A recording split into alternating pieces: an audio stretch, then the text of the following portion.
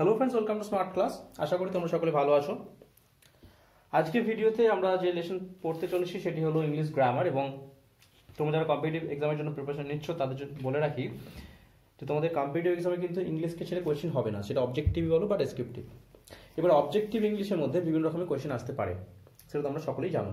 তো আজকে পড়ব কমন ইরোডের একটা ইম্পর্টেন্ট পোর্শন বুঝতেই পারছ যে কমন ইরোড কিন্তু বিভিন্ন জায়গা থেকে আসে, সেটা নাউন প্রোনাউন বা স্পিচ থেকে বলো বা অন্য যে কোনো গ্রামাটিক্যাল ফর্মস থেকে বলো বা প্রিপোজিশন বিভিন্ন জায়গা থেকে কিন্তু কমন ইরোডস আসে।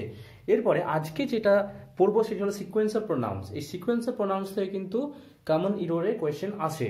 যেমন ধরো, এখানে আমি কতগুলি সেন্টেন্স লিখেছি। এরপরে এখান থেকে কোন সেন্টেন্সটি কারেক্ট পাঁচটি সেন্টেন্স লেখা আছে। পাঁচটি সেন্টেন্সের মধ্যে কোন সেন্টেন্সটি কারেক্ট সেটা চুজ করতে হবে। তো এতগুলো সেন্টেন্স দেওয়া থাকবে না জেনারেলি পরীক্ষাতে, তো সেখানে কি থাকবে? একটি সেন্টেন্স দেওয়া থাকবে এবং সেখানে পার্ট করে দেওয়া থাকে, যে one two A B C করে পার্ট করে দেওয়া থাকে এবং কোন পার্টে ভুল আছে সেটা কিন্তু বার করতে হয়।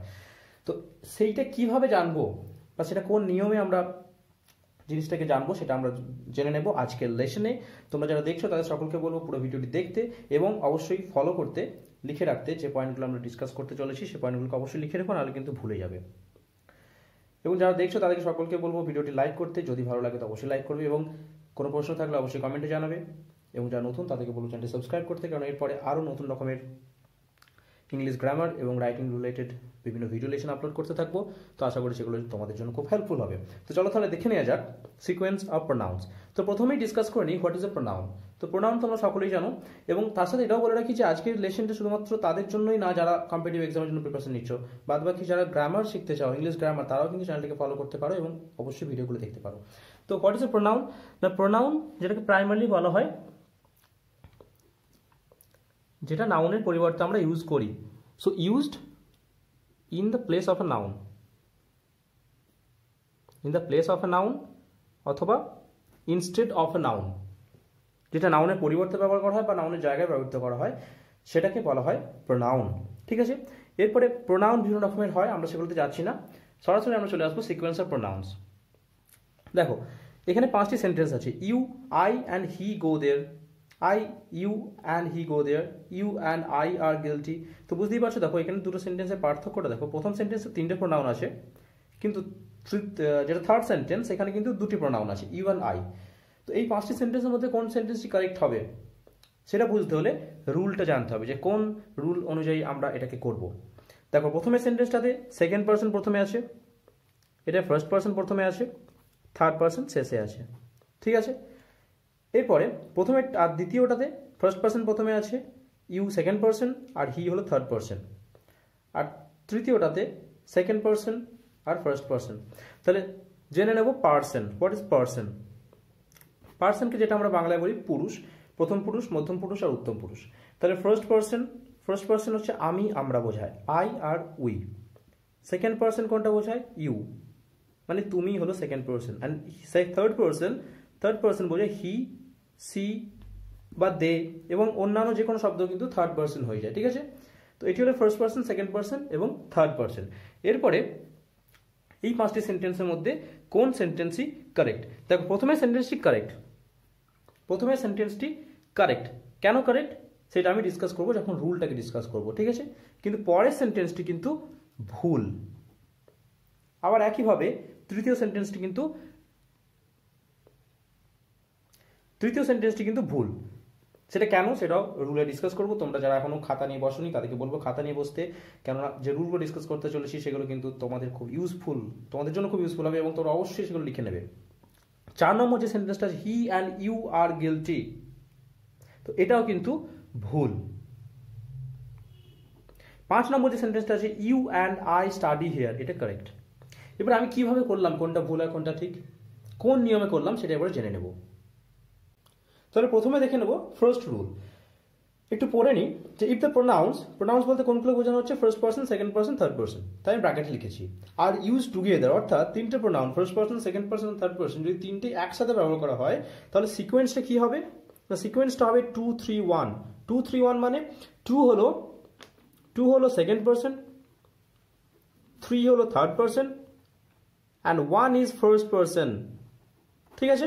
টু থ্রি ওয়ান তাহলে প্রথমে সেন্টেন্সটা কিন্তু মানে প্রথমে যে রুলটা, সেটা আরবে পড়ে নিই, যে if the pronouns are use together pronoun বলতে first person second person third person তিনটে প্রোনাউন কি বলা হচ্ছে? সেইগুলো যদি ব্যবহার করা হয় একসাথে ইন গুড সেন্স ভালো অর্থে ব্যবহার করা হয়, অর্থাৎ ভালো কিছু বলার জন্য ব্যবহার করা হয়, তাহলে তার সিকোয়েন্সটা হবে two three and one that means second person third person and first person এরপরে এটাকে আর একটু ভালোভাবে বুঝে নেওয়া যাক। যখন কোনো একটা ভালো জিনিস বলা হচ্ছে সাপোজ আমার বাড়িতে কেউ এলো, কোনো অতিথি এলো তো আমি নিজে আগে খাবারটা খাব নাকি অন্য কাউকে খাবারটা দেবো? অবশ্যই আমি অন্য কাউকে খাবারটা দেবো। যে যে উপস্থিত তাকে খাবারটা দেবো। অর্থাৎ ইউ। ইউ আছে উপস্থিত, তুমি। ইউ মানে তুমি, অর্থাৎ তুমি উপস্থিত। তাই ইউ কিন্তু প্রথমে হবে। তারপরে আসবে হি। বা কোনো একটা কথা বলছি সাপোজ সাপোজ একটা ভালো কথা বললাম, যে আমি, তুমি আর সে। এবারে এইটা সিকোয়েন্সটা কি হবে? না, তুমি, সে এবং আমি। সেখানে যাই। তাহলে যে উপস্থিত থাকবে তার কথা প্রথমে বলব। যে উপস্থিত নেই হি অর্থাৎ থার্ড পার্সন তারপরে হবে। এবং শেষকালে আমি নিজের কথা বলব কারণ এটা গুড সেন্সে বলছি এবং এটা হচ্ছে ম্যানার যে আমি নিজেকে সবসময় ভালো জিনিসের ক্ষেত্রে শেষে রাখব। কোনো ভালো জিনিস বলতে গেলে যে এটাকে বলা হয় ম্যানার আই হবে সবসময় শেষে, অর্থাৎ ফার্স্ট পার্সন সবসময় শেষে আসবে। কিন্তু যখন খারাপ সেন্সে বলা হবে, সেটা নিয়মটা কিন্তু বদলে যাবে। সেখানে কিন্তু আমি নিজেকে প্রথমে রাখব যে এই কাজটা যদি আমার ভুল হয়, বা সবারই ভুল হয়, তাও কিন্তু আমি বলব যে এই কাজটা আমার ভুল। তারপরে আমি অন্য কারও বলব যে তোমার ভুল। ওকে সেই রুলটা আমরা দেখে নেব, কিন্তু তার আগে এই রুলটা ডিসকাস করে নিই। তাহলে নিয়মটা কি দাঁড়াল? যদি প্রোনাউনগুলো একসাথে ইউজ হয়, তিনটা প্রোনাউনই এবং সেটা যদি ভালো সেন্সে ব্যবহার করা হয়, তাহলে কিন্তু তার সিকোয়েন্সটা হবে টু থ্রি ওয়ান অর্থাৎ second person third person and first person তাহলে প্রথমে সেন্টেন্সটা correct you he and I go there you he and I go there এটা কারেক্ট কিন্তু সেকেন্ডে যে সেন্টেন্সটা আছে I you and he go there এটাও তো গুড সেন্সে ব্যবহার করা হচ্ছে। কিন্তু ফার্স্ট পার্সন প্রথমে বলা হচ্ছে, তারপর সেকেন্ড পার্সন বলা হচ্ছে, তারপর থার্ড পার্সন বলা হচ্ছে। অর্থাৎ এটা রং এই সিকোয়েন্সে হবে না, প্রথমে হবে থার্ড পার্সন তারপরে হবে সেকেন্ড পার্সন সরি প্রথমে হবে সেকেন্ড পার্সন তারপরে হবে থার্ড পার্সন তারপরে ফার্স্ট পার্সন অর্থাৎ টু থ্রি ওয়ান বাংলাটা আমি বলে দিলাম, কীভাবে বুঝব? যে যে উপস্থিত আছে তার কথা প্রথমে বলব, তারপরে যে উপস্থিত নেই, কিন্তু সে কাজটা করেছে, কাজটাতে তার অংশ আছে, তার কথা তারপরে বলব, এবং শেষকালে আমি আমার কথা বলব। আমার যতখানি কন্ট্রিবিউশনই থাক, আমি কিন্তু শেষকালে আমার কথা বলব। অর্থাৎ ওয়ান মানে ফার্স্ট পার্সন ঠিক আছে? এই হচ্ছে রুল এবং লাস্টেটাও কিন্তু ভুল হবে। এরপরে দেখে নেব যে যদি দুটো প্রোনাউন ইউজ করা থাকে, অর্থাৎ তিনটে আমরা আগে দেখলাম, তিনটে প্রোনাউন আছে, এরপরে দেখব দুটো প্রোনাউন অর্থাৎ two pronouns are use together in good sense একইভাবে গুড সেন্সের জন্যই ব্যবহার করা হচ্ছে, কিন্তু দুটো প্রোনাউন ব্যবহার করা হচ্ছে, তখন সিকোয়েন্সটা কি হবে? Two three two one three one that means এটা দেখে হয়তো কনফিউজিং লাগবে যে two three two one three one এভাবে মনে রাখা সম্ভব নয়। কিন্তু খুব ইজি ব্যাপার, যদি আমরা আরও ভালোভাবে বুঝে নিই। দুটো প্রোনাউন আছে, অর্থাৎ হয় আমি, তুমি আসো, বা সে, তুমি, অথবা আমি আর সে। এরপরে এটাই হলো ম্যানার যে যাই হোক না কেন, আমি ভালো কাজের ক্ষেত্রে কিন্তু আমি নিজেকে সবসময় শেষে রাখব। তার মানে আই সবসময় শেষে আসবে গুড সেন্সের ক্ষেত্রে। দেখতে পাচ্ছ প্রত্যেকটাতে আই শেষে আসে। এবং যে উপস্থিত আছে তাকে প্রথমে বলা হবে। তাহলে উপস্থিত আছে তাকে প্রথমে বলা হবে টু। সমস্ত ক্ষেত্রে একটু টু প্রথমে আসে। এবং যদি তৃতীয় ব্যক্তি আর আমি উপস্থিত থাকি, তাহলে কিন্তু তৃতীয় ব্যক্তি প্রথমে হবে। এবং জেনারেলি যে নিয়ম ম্যানার বললাম, সেই অনুযায়ী আমি শেষে হবে। অর্থাৎ থ্রি ওয়ান তাহলে you and I study here তাহলে ইউ প্রথমে হচ্ছে এবং আই তারপরে আসছে। তাহলে কি এটা কি কারেক্ট দেখো ইউ অ্যান্ড আই বলতে প্রথমে যে উপস্থিত আছে, তার কথা বললাম এবং শেষে ম্যানার অনুযায়ী আমি আমার কথা বললাম। তাহলে এটা কারেক্ট তারপরে আছে I and you study here এবার আই প্রথমে আসবে না কোনো মতেই। যদি সেটা খারাপ সেন্স না হয় তো। খারাপ সেন্স হলে কিন্তু আই প্রথমে আসবে। এবারে I and you study here তাহলে এটা ফার্স্ট পার্সন হয়ে গেল আর ইউ হয়ে গেল সেকেন্ড পার্সন এক্ষেত্রে কিন্তু এটা ভুল হচ্ছে। যদি এখানে থাকতো হি এবার যদি হি থাকে, একটা এক্সাম্পল এখানে লেখা যাক।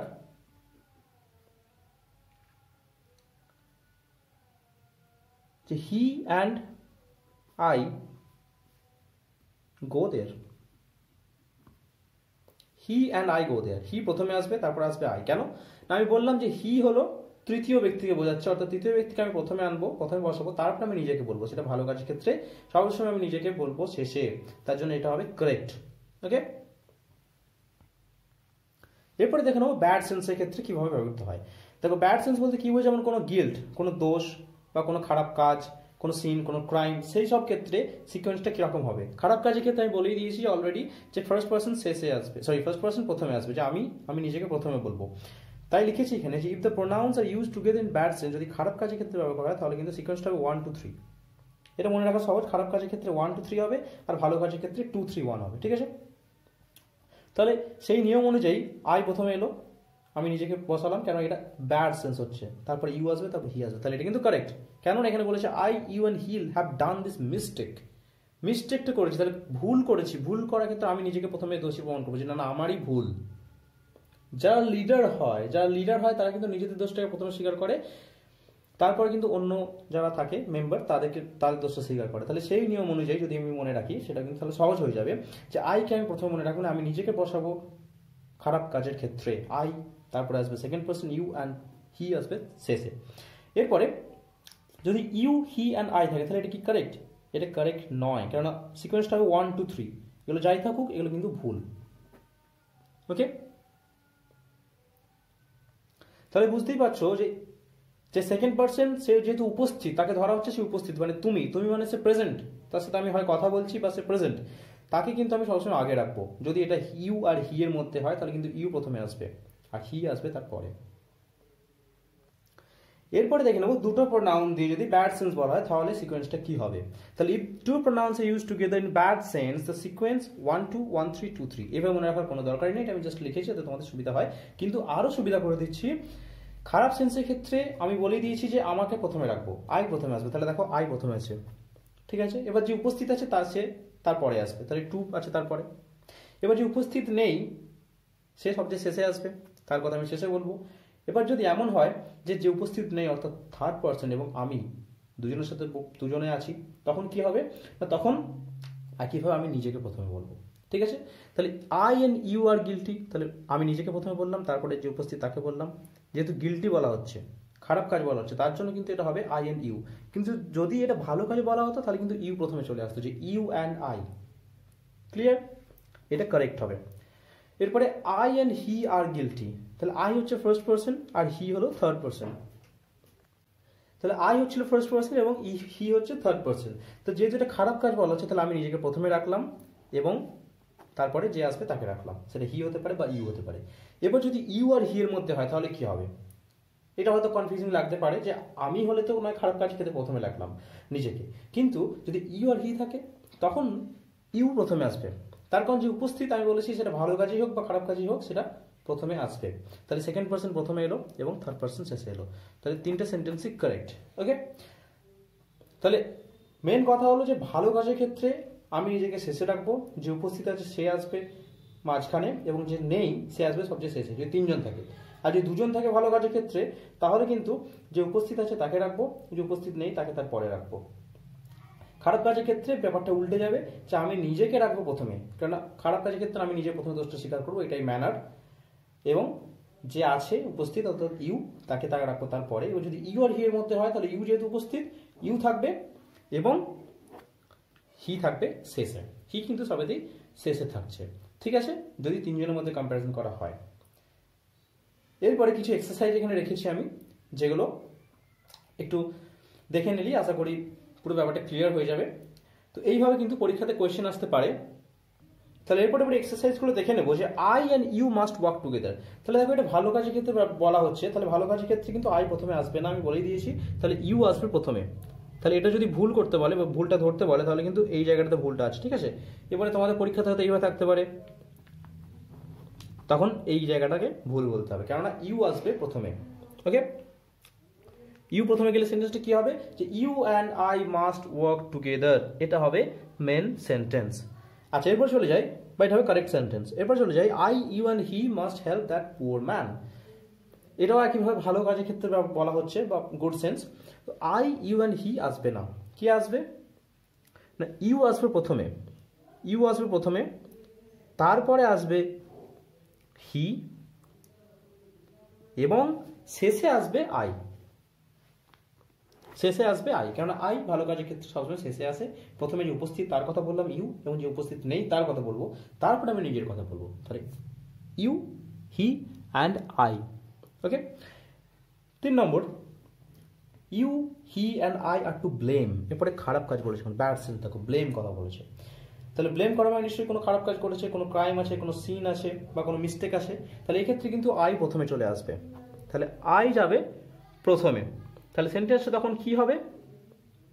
না I you and he I যাবে প্রথমে, তারপরে যে উপস্থিত তার কথা বলব হি নেই, যেহেতু নেই এখানে হি থাকবে শেষে।